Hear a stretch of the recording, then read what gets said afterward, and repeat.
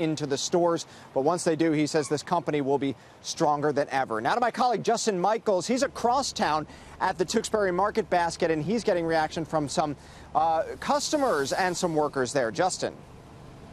That's exactly right, Jeff. Thank you very much. And you know, this has really had two different sides here, right? We have the customers and we have the employees all fighting for the same end goal, and that was to get Arthur T. Demoulas back. And as you can see from this parking lot, there are carts in the cart returns. There are cars in the parking lot. All that equals customers in the store, employees in the store.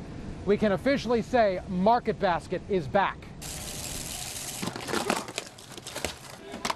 We're all high fiving in there and laughing, congratulating everybody. We got the biggest smiles on our faces. The voice of Market Basket brand loyalty. Tina Malaj says for the last two months, not shopping at Market Basket out of protest and support has hurt her wallet. I'd go to another store, it's like, oh my God, this is 12 times higher than what I would get this at Market Basket. Upon word of a deal being signed to bring an end to the Market Basket saga, customers like Tina came to fill up their cars with bags full of Market Basket goods. We've been waiting so long to come back here. Ann Scannell and her two granddaughters have been coming by the Tewksbury Market Basket twice a day for two months, honking their horns and showing support.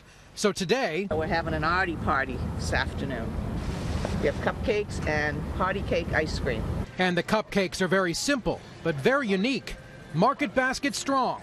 The bakery here in Tewksbury has been pumping these guys out since they heard the deal was done. I absolutely love them. We're waiting for the bags to come out. Yeah. You know, the recyclable bags? Sure. Someone said they're going to make these. But of course, the other side of this war for Artie T was waged by the employees, many of whom are coming back to work today, excited to see their customers.